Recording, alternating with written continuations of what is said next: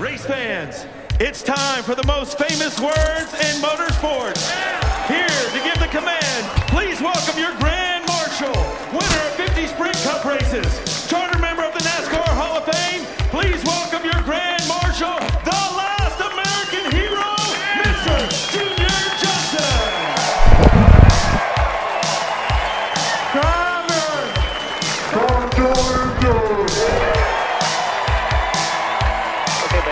fired up when you're ready, bud. They get fired in. She said she gon' ride for a nigga. Maybe she gon' lie to a nigga. I'm like, so what? I'm like, so what?